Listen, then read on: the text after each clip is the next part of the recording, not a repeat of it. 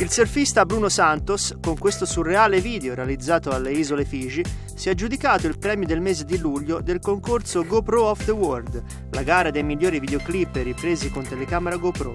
Una incredibile cavalcata direttamente da dentro l'onda.